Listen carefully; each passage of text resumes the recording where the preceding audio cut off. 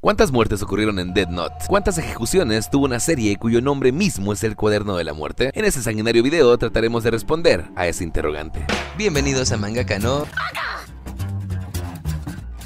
Cuatro puntos a aclarar. El primero y más obvio es que el de Bray estará repleto de spoilers. Es básicamente el repaso de todos los asesinatos ocurridos en la serie. Segundo, cuando las muertes son específicas y aparecen en pantalla, serán contadas al pelo. Es decir, una muerte es igual a un contador. Cuando las muertes son múltiples e incontables al ojo humano, se contarán solo las vistas en acción. En el caso de que no se muestre ningún cadáver, pero sí se vean los nombres anotados en la libreta, solo se contará como uno. Esto para no confundirnos con valores aproximados que ni ustedes ni yo sabemos. Por último, hay casos en la serie donde especifican claramente el número de víctimas que Kira asesinó en cierto periodo de tiempo. Si estos datos son mencionados, serán contados como tal, aunque creo que solo hay un caso así en la serie. Sin más y esperando que este video no tenga reglas igual de complicadas que la mismísima Dead Note, damos inicio al conteo de los juicios del dios del nuevo mundo y sus achichingles. Vamos a debrayar.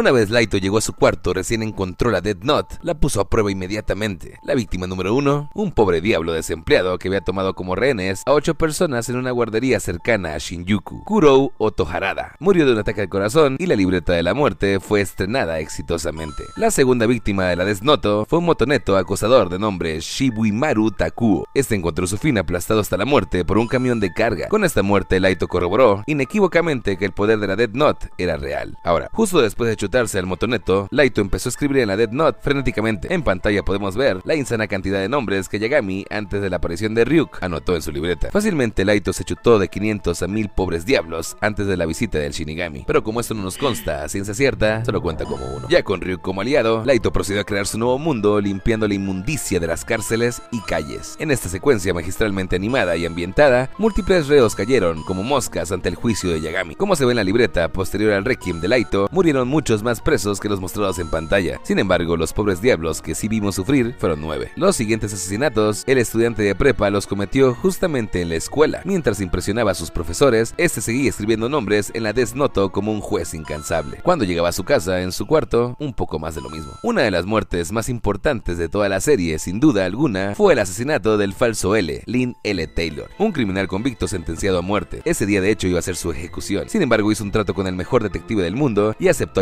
en su teatrito si este posponía su pena de muerte. Aunque bueno, como ya sabemos, el destino de Taylor terminó siendo el mismo, ya que fue ejecutado públicamente por el mismísimo Kira. Él le dirigió la cacería, colocó la carnada y Yagami picó. Su altísimo ego no le permitió quedarse tranquilo, y actuando impulsivamente, le regaló a L respuestas claves en su investigación. En esta parte de la historia, a Laito se lo agandallaron bien feo. Aunque bueno, Yagami no dejó que la aparición de L lo agüitara, y siguió con sus juicios divinos incluso mientras jugaba Fucho. Pese a que en la pantalla se ven solo algunas muertes, los que se dieron a conocer en la división Antiquira fue que durante un lapso de tiempo de dos semanas ocurrieron 23 muertes diarias. Esto suma un total de 322 muertes en un transcurso de 14 días. Ahora, una vez llegados a este punto, Laito necesitaba probar los alcances del cuaderno asesino. ¿Qué tanto podía manipular las acciones de las víctimas antes de su muerte? ¿Qué exigencias eran sencillamente imposibles? Para estas pruebas, Laito finiquitó la vida de seis reos. De estos seis presos, tres exhibieron comportamientos extraños antes de morir, desde dibujar pentagramas con su propia sangre, dejar notas de miedo y desesperanza, hasta escapar brevemente para morir en un baño circundante. Los otros tres reos que murieron durante estas pruebas solo murieron de un ataque al corazón, ya que no pudieron realizar las tareas imposibles designadas por Kira. Por ejemplo, escapar y morir frente a la Torre Eiffel, dibujar la cara de L en la pared de la celda o escribir hechos que desconocían completamente. Una vez corroborados los datos ya mencionados y sabiendo que lo seguían desde hacía días, Laito orquestó el secuestro del bus donde viajaría para de esta manera provocar a Rey Pemba a identificarse con él. Una vez Laito logró su objetivo, dejó caer un trozo de la Dead Note para que el asaltante lo cogiera y pudiera ver a Ryuk. Antes de su violenta muerte, Kichiro Soreda presenció la aparición de un demonio que no podía ser asesinado con balas. Asustado y gritando sandeces, el asaltante de bancos fue arrollado como un insecto en la calle recién bajó del bus. Posterior a este día maquiavélico, Laito le mandó un mensaje secreto a L como colegial enamoradiza. Todo esto de la mano de otro reo ejecutado. Un críptico mensaje. Otra muerte al contador. Una vez trazado su plan de erradicación de agentes del FBI, Laito interceptó a Pemba en la estación de metro y para demostrar que era el verdadero Kira, asesinó a un pobre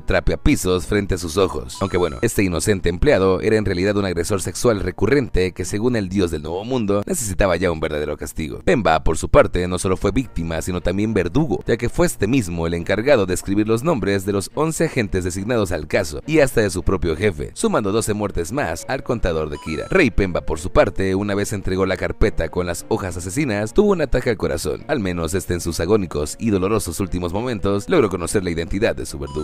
さよならレイ・ペンバー。Posterior al asesinato de los agentes del FBI, Kira siguió mandándole mensajitos a L a través de reos que morían de ataques al corazón. En este caso, Yagami le compartió al detective descalzo la afición que sentían los shinigamis por las manzanas. Uno de los asesinatos que más le costaron a Laito fue en definitiva el de Naomi Misora, prometida de Pemba y ex agente del FBI. Naomi, creo, aparte de L, fue la chica que más cerca estuvo de descubrir a Laito. Todo el capítulo en donde Yagami intenta sacarle el nombre a Naomi es una joyita, güey. Al final de este intercambio, Yagami demostró ser un poco más ágil que Misora y la mandó a la horca, en cuanto se enteró su nombre en el cuaderno asesino. Literal, su muerte sería por mano propia y de manera discreta e ignota, ya que fue especificado en la Dead Note que su cuerpo no sería encontrado rápido por la policía. Si te gusta mi y quieres saber más sobre ella, léete la novela Desnoto Another Note, en donde junto a él se enfrentan al bizarro asesino Bibi de Los Ángeles. Historia recomendadísima si te gusta el universo de Oba y Obata. Ah, Posterior a la muerte de Naomi y para cubrir sus futuros pasos, Laito se la pasó cuatro días seguidos escribiendo sin dormir nombres en la Death generando de esta manera una calendarización de muertes adelantada por semanas. De esta manera, si se enfermaba, las muertes no se detendrían y sería más difícil vincularlo con los crímenes y con Kira. Sin embargo, todas estas precauciones no levantaron las sospechas que sentía L por Laito, así que intervino su casa con 64 cámaras ocultas, con las cuales planeaba capturar en el acto a Kira. No obstante, Yagami nos mostró nuevamente su ingenio y alto poder adquisitivo al asesinar criminales desde dentro de una bolsa de papas fritas. Resolvía ecuaciones con su mano derecha, mientras que escribía nombres televisados en vivo con su mano izquierda. Después mordía una papita y repetía el proceso. De esta manera, Kira juzgó criminales sin dejar de hacer sus labores escolares. El downside de esta estrategia es que la camarita tuvo que ser desechada con un solo uso. Debido a la vigilancia severa de L, Laito siguió ejecutando su juicio a diferentes horas del día, recordando los nombres de los criminales que había visto en los medios informativos previamente. De esta manera evitaba un patrón de ejecuciones definido. Es en esta parte de la historia que el conteo de muertes aumenta, pero no por Laito, sino por la aparición del segundo Kira, la chica emo de los ojos de Shinigami, Misa Misa-chan. Cuando mandó su primer video queriendo contactar a Kira, esta para probar sus poderes, acribilló del acto a un presentador de Taiyo TV, el cual obtuvo la pena capital solo por decir múltiples veces al aire que Kira era la maldad personificada. También otro comentarista de NHN pagó el mismo precio capital por la misma razón, dos muertes más al conteo general de la serie y dos a la cuenta inaugural de la emo asesina. Debido a que el director de la cadena televisiva que transmitía los mensajes del segundo Kira de Megawa. Nunca detendría la transmisión por voluntad propia. El miembro de la Fuerza Especial de L, Ukita Hirokazu, sin permiso de su equipo, irrumpió en la televisora buscando parar la transmisión en vivo. Para sorpresa de todos, hasta del mismo Kira, Ukita encontró su fin de un ataque al corazón frente a la televisora en cuestión, mostrando por vez primera ante el mundo y ante L el poder no solo de la Dead Note, sino de los ojos del Shinigami. Ya que ya hizo su aparición Misa, es tiempo de profundizar un poquito en su historia. Esta mucho antes de ser una modelo reconocida en todo Nippon, tuvo un encuentro que cambió su destino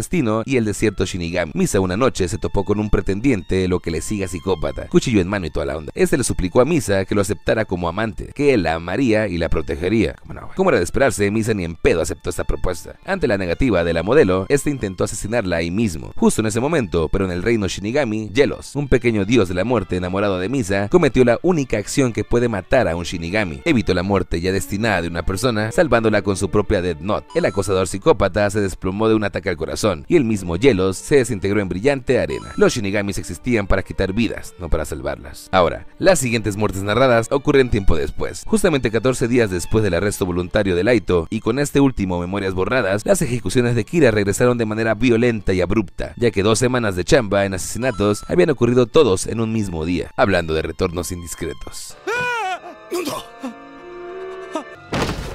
En esta etapa de la historia, un nuevo Kira aparece, Kyosuke Higuchi. Este empresario corrupto, junto a su grupo de amigos del conglomerado Yotsuba, asesinaban a un rival empresario por semana. No se sabe a ciencia cierta cuántos rivales de negocios asesinaron en total este grupo de ambiciosos corporativos. Debido a que las cosas estaban poniendo picantes dentro del grupo Yotsuba, uno de sus socios, el vicepresidente de marketing Hattori, pidió abandonar el grupo. No quería verse inmiscuido con Kira ni quería ser arrestado por la policía nipona. Lamentablemente para él, renunciar al corporativo de la muerte significó no solo su despido, sino su deceso. Al día siguiente, la silla de Hattori había perdido a su ocupante. Obviamente, Higuchi no solo asesinaba empresarios y rivales corporativos, sino que también por instrucción de Rem ejercía el juicio de Kira en sus tiempos libres. Los asesinatos que realizó Higuchi durante su tiempo como Kira son ignotos. La siguiente muerte ocurrida en la serie vino de mano de Rem y Misa. Está buscando la confesión de Higuchi y engañando al nuevo Kira, finge anotar en su Death Note el nombre de un competidor de negocios elegido por el mismo Kioske. Sin embargo, el verdugo de este pelonchas no fue otro más que Rem, el cual, captando la indirecta de Misa, ajustició a Hinzo ipso facto. Con este asesinato colectivo, Misa se ganó la confianza y confesión de Higuchi y lo dejó como burro en primavera. Cuando Higuchi fue engañado por la obra montada por L, Laito y Matsuda, a este no le quedó otra opción más que recurrir al trato de los ojos del Shinigami para asesinar a Touta. Desafortunadamente, para un policía de tránsito que pasaba por ahí, la infracción de Higuchi fue algo imposible de ignorar. Al verse en aprietos, el tercer Kira sin dudarlo estrenó sus nuevos poderes en el oficial, asesinándolo en el acto.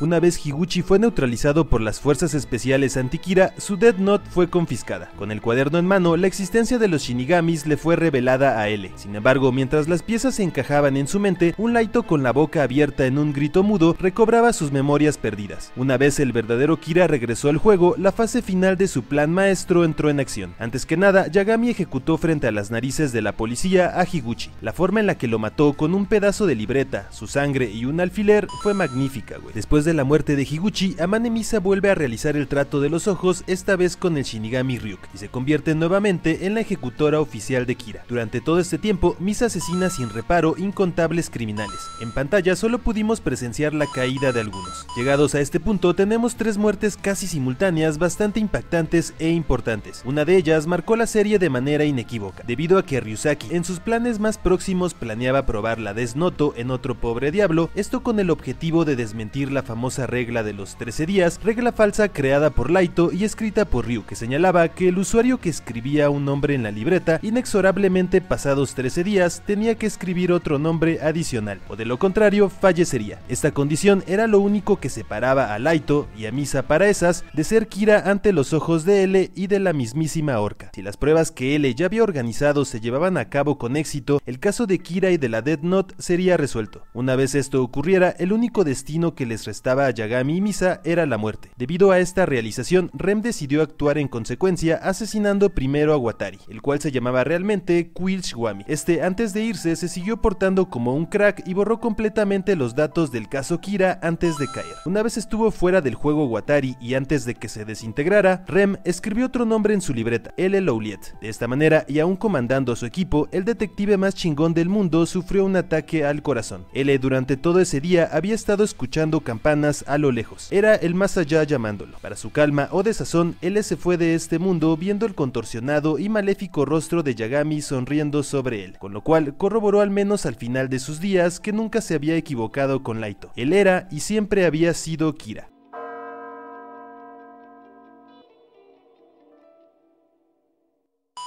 Ren por su parte, una vez escribió el nombre de Lowliet en su libreta, se consumió hasta las cenizas dejando tras de sí solo su cuaderno de la muerte. Como era de esperarse, una vez él murió, el nuevo mundo de Laito tomó un giro mucho más vertiginoso y radical. Yagami, como juez incansable, cometió asesinatos masivos día tras día. Los profesores amenazaban a sus estudiantes con Kira. Las víctimas de bully pedían justicia a su nuevo dios, y Kira respondía al llamado omnipresente e inagotable. Dentro de esta limpieza exhaustiva, Laito eliminó a todos los que sabían algo sobre la libreta o estaban relacionados de alguna manera al caso Kira. La güerita Mary Kenwood encontró su fin en una autopista. A Thierry Morello, el falso heraldo Coyle, por su parte, la muerte lo encontró en un ambiente más relajado, sentado en su sala echándose un vinito. En el caso del consejo de Yotsuba, estos besaron a la parca en la misma sala en la que habían planeado tantos asesinatos previamente. Los seis miembros restantes claudicaron como socios inseparables. Ahora, pasado cierto tiempo, un mensaje claro y ominoso es recibido en la casa Wami. L había muerto. En esta fase de la historia son introducidos los nuevos detectives de la serie, los sucesores de L, Nir y Melo. Nir es como un L pero más aniñado. Melo por su parte era lo que hubiera pasado si L se volvía un gángster. Era un genio rockstar que hacía las cosas de manera directa y sin falsas pretensiones morales. Era border y no temía actuar consecuentemente. Secuestrando a la hija de Yagami y hermana de Laito, este logró ponerle las manos rápidamente a una de las de la muerte en posesión de los nipones. La muerte que corroboró la autenticidad de la libreta vino de la mano de uno de los vasallos de Melo, el cual fue juzgado y sentenciado a la pena capital por robarle mercancía a su propio grupo. Una vez Melo comprobó la letalidad de la Desnoto, inmediatamente se deshizo de la mayoría de los miembros de la SPK, es decir, del grupo de N. Diez miembros murieron en esta ocasión, o al menos eso nos mostraron en pantalla. Con el peligro que representaba Melo, el escuadrón Antikira se prepara para una operación clasificada de captura. Yagami Sr. decide él mismo recurrir al trato de los ojos de los Shinigamis para acabar de una vez por todas con la rebelión de M. La infiltración de Yagami ocurre justamente cuando tres de los aliados de Melo sufren un ataque al corazón. Los nombres de estos miserables habían sido anotados previamente en la Death Note de Misa Misa, y por ende ya estaban condenados con fecha y hora a una muerte violenta. Tres más a la cuenta, Paps. Lamentablemente, en la operación exterminio de Melo, Yagami Sr. dudó y recibió las consecuencias directas de su irresolución en la piel. Debido a estas heridas y a la reducción de su esperanza de vida por el trato de los ojos, Yagami Soichiro se adentró al claro del que todos hemos bebido y beberemos nuevamente, feliz y sin remordimientos. Una vez Laito tuvo el punto moralista de su padre, fuera de vista, este perdió lo último que le quedaba de mesura y estructuró un equipo de aliados elegidos al dedo para mantener su nueva utopía activa. Sus dos aliados más importantes, aparte de Misa, fueron Kiyomi Takada, ex compañera de Seku, y Teru Mikami, fiscal elegido por el mismo Laito para ser su nuevo verdugo. Su personalidad y aficiones concordaban casi en todo con la causa del dios del nuevo mundo. Las primeras muertes que le vimos realizar a Mikami fueron las ejecuciones públicas de los cinco predicadores más despreciables de Kira, Damegawa y sus achichincles, los cuales se contorsionaron hasta la muerte en Live TV. Como era de esperarse, el nuevo ejecutor de la voluntad de Kami cumplió su trabajo de manera pristina y eficiente. Imposible calcular cuántas muertes causó Mikami durante este tiempo, por ende solo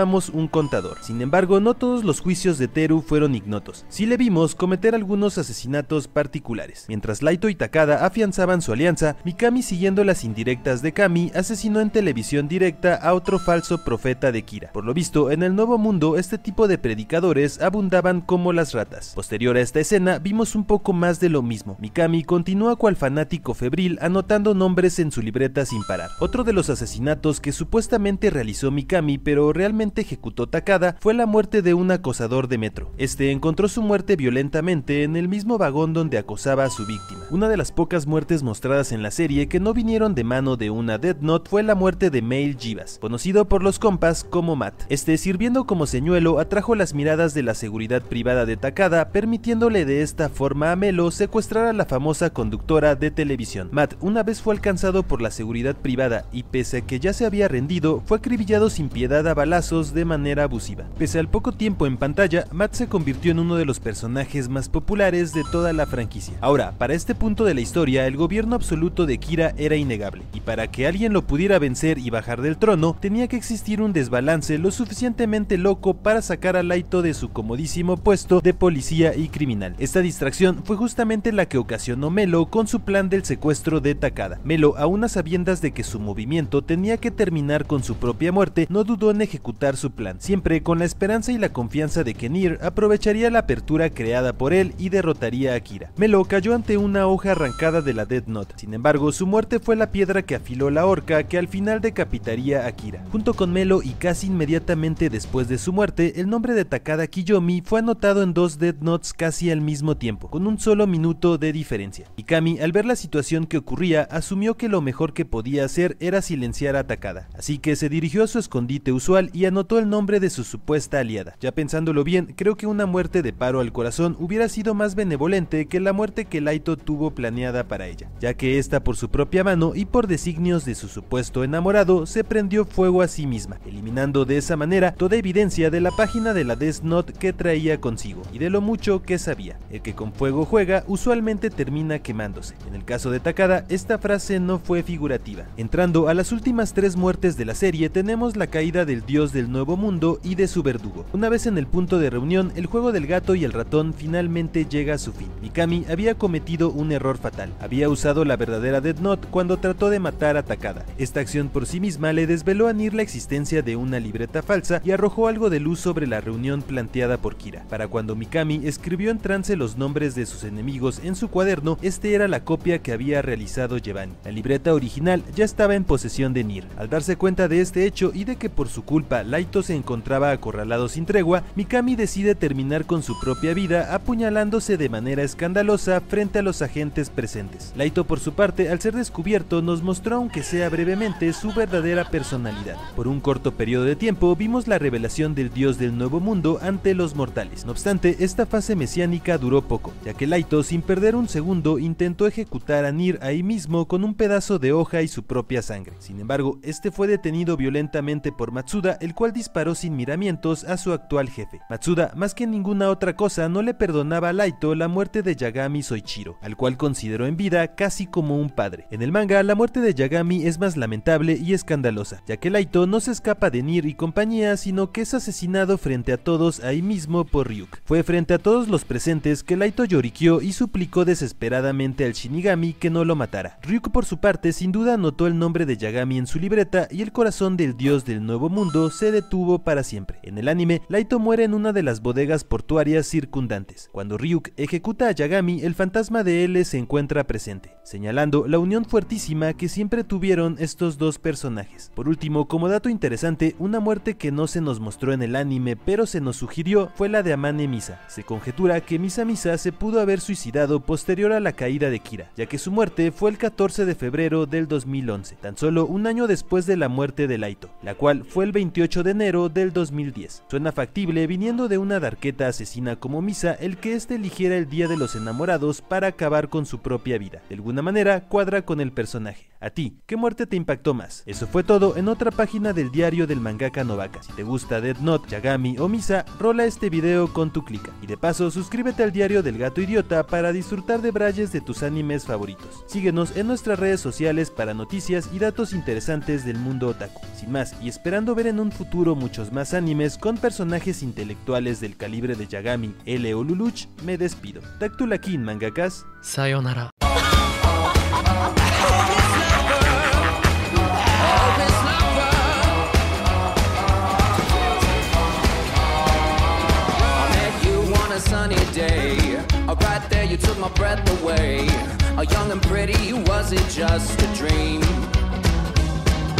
Well, I know what I feel.